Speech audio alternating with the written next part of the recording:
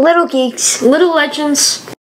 Hi everybody, welcome back to the Little Geeks Little Legends video. Today's video comes from our friends at Mom and Dad. Thank you so much, Mom and Dad, for getting us this to review. What's you got in the box today? Magic, magic. Check it out, everybody. We got Star Lord from Thor: Love and Thunder. He's available now for $24.99 for ages four and up.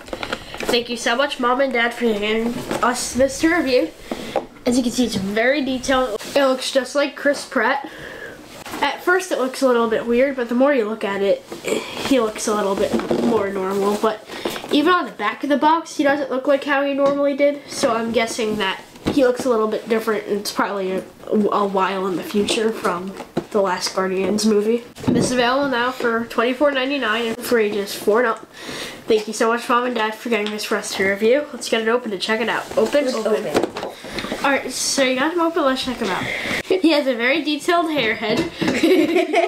he has a very detailed beard too. He has his trigger fingers that hold the guns really well. And he has kind of like a weird vest setup under his coat. And he has pegs to hold the um, blasters in. And then Korg, we just need one more arm and then we can build him. We can't wait to see what Star-Lord does and how he acts in Thor Love and Thunder on July 8th. So on the back of the box it says they return to help, the Guardians of the Galaxy return to help new and old friends. Not just Star-Lord and Groot.